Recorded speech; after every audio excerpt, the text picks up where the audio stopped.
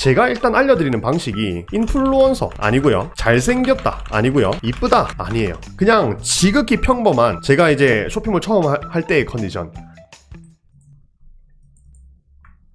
안녕하세요. 여성의류 쇼핑몰 준비 중에 옹크트림 영상을 보게 돼서 현재 시간 날 때마다 유튜브 영상을 정독하고 있습니다. 여성의류 쇼핑몰 컨셉은 오피스룩 하객룩 스타일이고 옹크트림 영상 보고 스마트 스토어로 방향을 바꾸어서 그쪽에 맞춰 진행하고 있습니다. 제가 궁금한 점은 상품 개수가 많지 않더라도 네이버 광고를 시작해야 하는 건지 유입수나 이런 건 어떻게 늘리는 건가요? 두 번째, 자사몰 말고 스마트 스토어로 시작해서 플랫폼 확장해도 괜찮은지 세 번째 밑에 글에서도 봤는데 여성의류 쇼핑몰 컨셉이 정해졌는데 남자 옷도 올리면 안 좋은 영향이 있을 지 배송 외주는 어떤 식으로 진행되는지 여쭤봅니다. 어, 등등등 많은 질문들을 해주셨는데 하나씩 한번 답변 드려보도록 하겠습니다. 첫 번째 이거는 처음에 상품 수가 많지 않더라도 네이버 광고를 해야 하는지 이런 것들을 질문 주셨어요. 요거는 제가 답을 말씀드린 적이 있어요. 쇼핑 검색 광고나 네이버 광고는요 상품 수랑 관계없이 일단 등록하면은 무조건 돌려야 한다. 물론 이게 어떻게 CPC를 얼마로 돌리는가 이것들은 좀 디테일한 내용인데 CPC를 너무 비싸지 않게 한 기본 정도로 해서 무조건 돌리는 거는 맞습니다. 자사몰 말고 스마트 스토어로 시작해서 플랫폼부터 확장해도 괜찮은 건지. 근데 원래 그렇게 하는 거예요. 스마트 스토어로 시작해가지고 자사몰, 뭐 에이블리, 지그재그, 브랜디 이런 vertical commerce에 입점을 하는 겁니다. 우리가 왜 이런 방식으로 가야 되냐면 제가 일단 알려드리는 방식이 인플루언서 아니고요. 잘생겼다 아니고요. 이쁘다 아니에요. 그냥 지극히 평범한 제가 이제 쇼핑몰 처음 하- 할 때의 컨디션. 저는 완전 그냥 지극히 평범한 대학생으로 시작을 했었거든요. 그 상태에서 시작을 한다라고 가정을 하고 알려드리는 방식이에요. 그래서 대표님의 상황이 지금 뭐 인플루언서처럼 잘생겼거나 이쁘지 않으시다면은 이 방식으로 가야 됩니다. 네, 스마트 스토어로 시작을 해서 연습한다는 느낌으로 하나씩 하나씩 배워보시고 그것들이 조금 적응이 되면은 에이블리 지그재그 브랜디로 vertical commerce 확장을 하고 거기서 매출이 좀 어느 정도 만들어졌어요. 4, 5천 정도 또는 뭐 7, 8천 정도 만들어졌다 하면은 그때 자사몰을 확장해서 메타 광고를 공부하고 SNS나 뭐 메타 광고로 자사몰로 유입시켜서 판매를 하는 방식. 그 방식을 제가 계속해서 말씀드리고 있는 겁니다. 세 번째 여성 의류 쇼핑몰로 컨셉이 정해졌는데 남자 옷도 올리면 안 좋은 영향이 있는지. 안 좋은 영향은 없어요. 그런데 이게 대표님께서 처음에 잡은 그 컨셉 브랜딩 이 방향이랑 너무 다른 방향으로 가버리면 문제가 생깁니다. 그리고 디자인적인 측면도 되게 중요해요. 내가 여성 의류를 하고 있는데 남자 옷을 올리는 거예요. 근데 그 남자 옷이 남녀 공용 느낌이 아니라 완전 남자 쪽으로 치우친 그런 디자인의 제품이라면 사실 그냥 따로 쇼핑몰을 하나 만드는 게 맞고요. 반대의 경우도 마찬가지예요. 내가 남자 의류 쇼핑몰을 하고 있어요. 근데 이제 여성 피팅 컷을 올렸는데 너무 fit한 제품, 진짜 무조건 여자만 입어야 되는 제품을 올리면은 그것도 문제가 있죠. 그래서 이거는 상황에 따라 좀 다르긴 해요. 근데 안 좋은 영향이 있는 건 아니다. 그 컨셉에 맞게 잘 녹여내면은 오히려 메리트가 된다. 이거를 좀 말씀드리고 싶었어요. 네 번째는 배송 외주는 어떤 식으로 진행되는지. 이거는 이제 대리 발송을 얘기하시는 것 같아요. 우리 동대문 대리발송 업체 같은 경우는요 대표님들이 좀 착각하시는 포인트가 많은 것 같아서 의류 사입도 해주는 거예요. 이게 포함된 가격이에요. 많이 질문 주시는 포인트가 그러면 픽업하는 도매처마다 금액이 붙나요? 물론 그렇게 하는 대리발송 업체들도 있겠죠. 근데 저희 지금 제휴되어 있는 올빛 풀필먼트 같은 경우는 그게 아니라 그냥 이거 전부 다 합쳐서 3,900원이에요. 그러니까 멤버십 가격으로. 전부 다 합쳤다는 말은 무슨 말이냐면 동대문에서 사입하고요. 그리고 그 새벽에 사입해가지고 아침에 제품 떨어질 거 아닙니까? 물류팀 쪽으로. 그럼 떨어지면은 검수 포장하고요. 고객한테 발송하고요. 발송한 거를 송장 번호 전달까지. 이렇게 해서 전부 다 포함해서 3,900원인 거예요. 그리고 또 많이 주시는 질문이 어떤 거였냐면 그러면 하나의 고객이 A라는 고객이 다섯 장을 주문했어요. 그러면 얼마예요? 그럼 3,900원 곱하기 5 해가지고 만 얼마인가요? 라고 질문하실 수 있어요. 이것도 답변을 한번 드려보면 다섯 장은 합포장으로 분류돼요. 그 합포장은요 500원씩 추가된다고 보시면 됩니다. 그럼 3,900원에서 한 장 뺐죠? 한 장 빼면은 이제 총 4장 이 합포장으로 쳐지는 거예요. 그럼 4장은 500원 곱하기 4 하면 얼마예요? 2,000원이죠.